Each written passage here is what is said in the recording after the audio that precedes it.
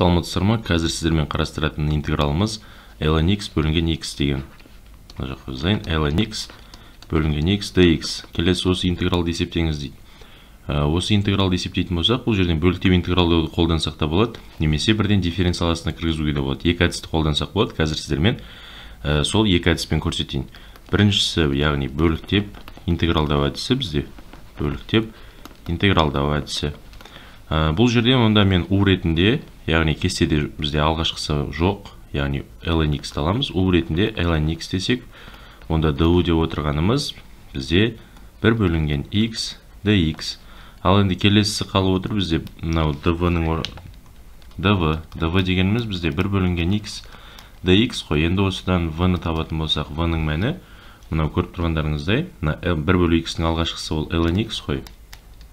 Енді осыны есептейтін болсақ ln x тің квадраты ал енді келесі азайтылған бізде интеграл мынау ln x көбейтілген бір бөлу x деген шығады сонда мынау жазайық азайтылған ln x көбейтілген бір бөлінген x dx екен.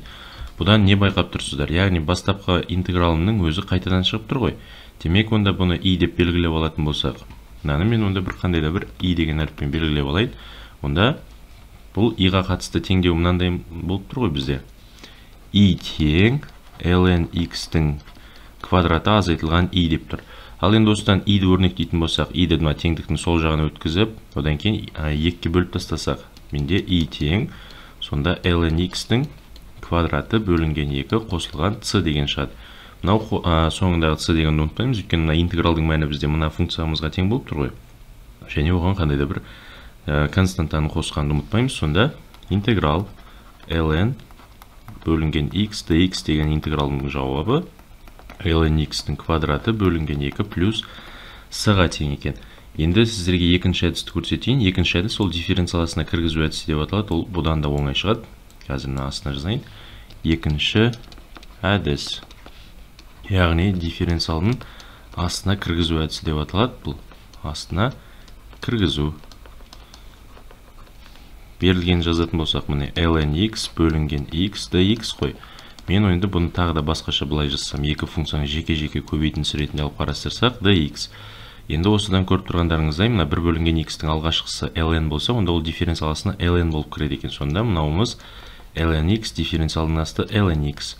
Бұған біз кестедегі қай формуланы қолданамыз? Мына x dx деген кестедегі қолданатын болсақ ол x квадрат бөлінген 2 плюс с ғой.